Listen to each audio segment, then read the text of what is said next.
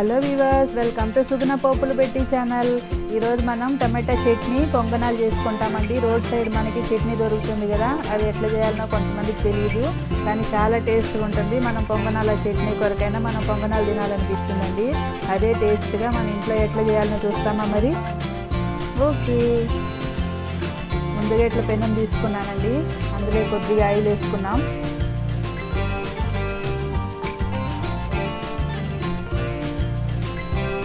పచ్చిశనగపప్పు తీసుకున్నానండి. అది ఒక రెండు మూడు స్పూన్లు వేసుకుంటాం. మనకు చట్నీ ఎంత కావాలంటే అంత వేసుకోవచ్చండి. ఇప్పుడు నేనైతే ఒక మూడు స్పూన్లు అంత వేసాను ఈ పప్పుని బాగా వేయించుకోవాలండి. మంచిగా కలర్ వచ్చేంత వరకు.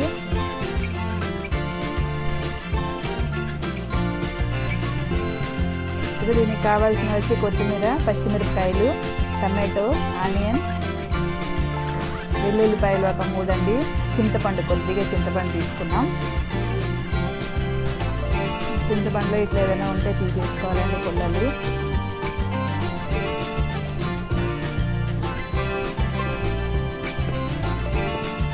పప్పు బాగా ఫ్రై అవుతుంది.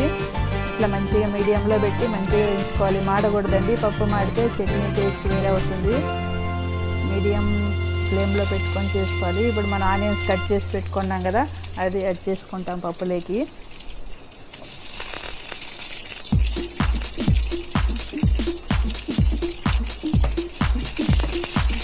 ఇది ఫ్రై చేసుకుంటాం ఒకసారి.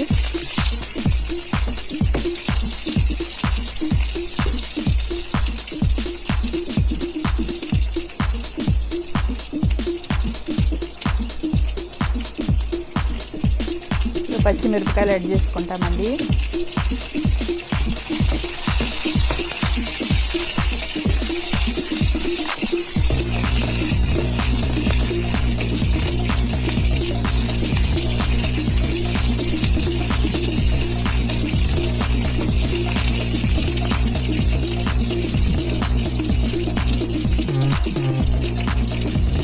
వెల్లుల్లిపాయలు ఒక మూడు వెల్లుల్లిపాయలు యాడ్ చేసుకున్నాము.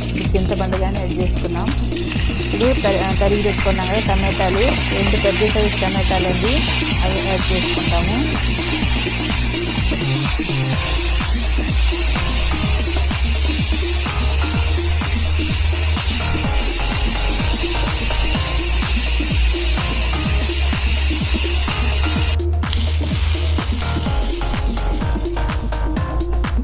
బాగా ఫ్రై చేసుకుంటాం.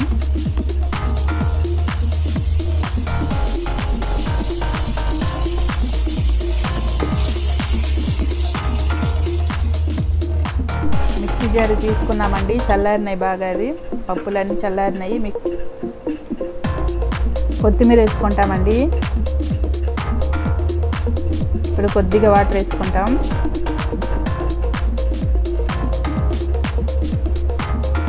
ఈ చట్నీకి సరిపడా సాల్ట్ వేసుకుంటాము.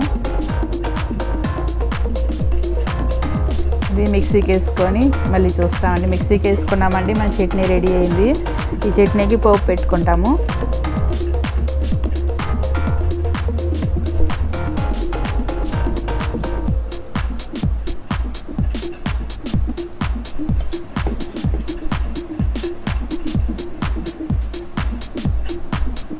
బండి పెట్టుకున్నామండి కొద్దిగా ఆయిల్ వేసుకున్నాం. కొద్దిగా శనగపప్పు.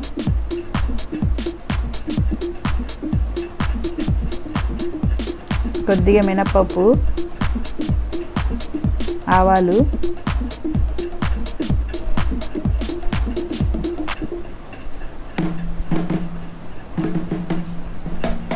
జీలకర్ర వేసుకుంటామండి.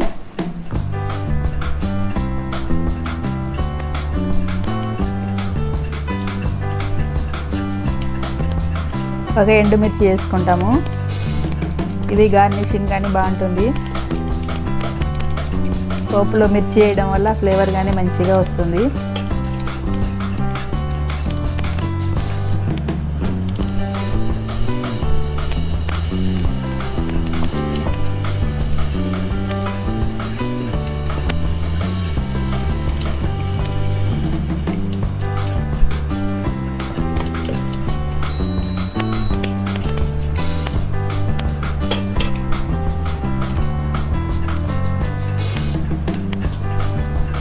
పోపుని ఇందాక వేసుకుంటామండి.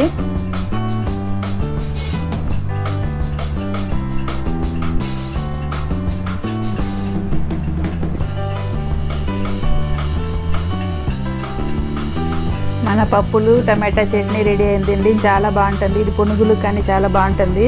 మనకి పొంగనాలకి మనం ఈరోజు చేసుకుంటున్నాము.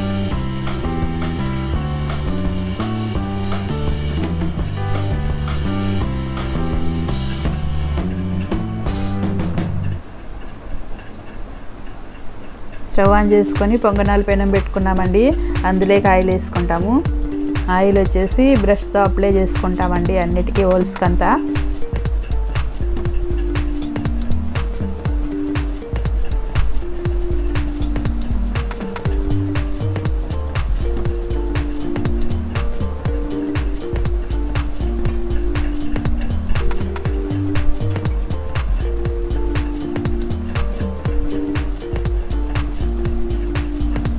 ఇప్పుడు పిండి వేసుకుంటాము.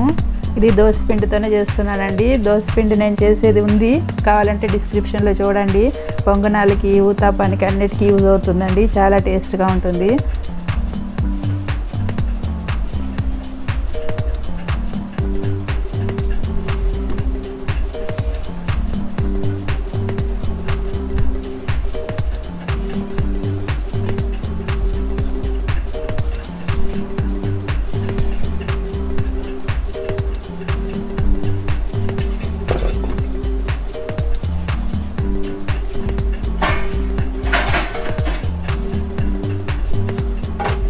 మూత పెట్టుకుంటామండి.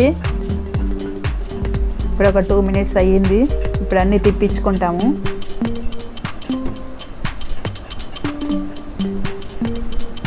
మీడియంలో పెట్టి పెంచుకోవాలా మనం హై ఫ్లేమ్ పెట్టినామంటే మాడిపోతాయి కొద్దిగా నల్లగా వస్తాయి. మీడియంగా పెట్టి మెల్లిగా చేసుకుంటే మన కరకరలాడుతూ వస్తాయి పొంగనాలు.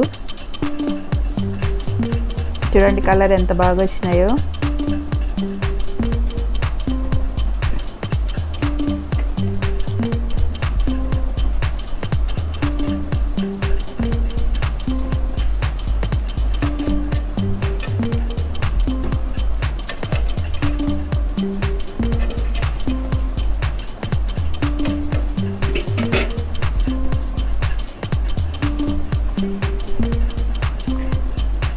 ఇంకొకసారి తిప్పించుకుంటాము. ఇట్లా తిప్పించి మంచిగా మన కరకరలాడేంత వరకు మంచిగా ఇట్లా ఒకసారి రెండు సార్లు తిప్పించి మళ్ళీ ఇచ్చి వేయించుకోవాలండి. బాగా వస్తాయి. మంచిగా కలర్ వచ్చేసిందంటే ప్లేట్లోకి తీసుకోవచ్చు.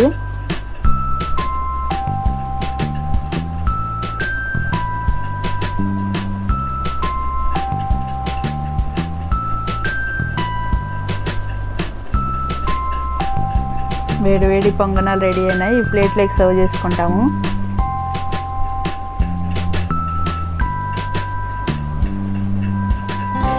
ఈ చట్నీ మీరు ఇంట్లో చేసుకున్నారంటే ఇంకా రోడ్ సైడ్కే వెళ్ళారండి. అంత టేస్ట్గా ఉంటుంది. ఒకసారి మీరు కంపల్సరీ ట్రై చేసి చూడండి.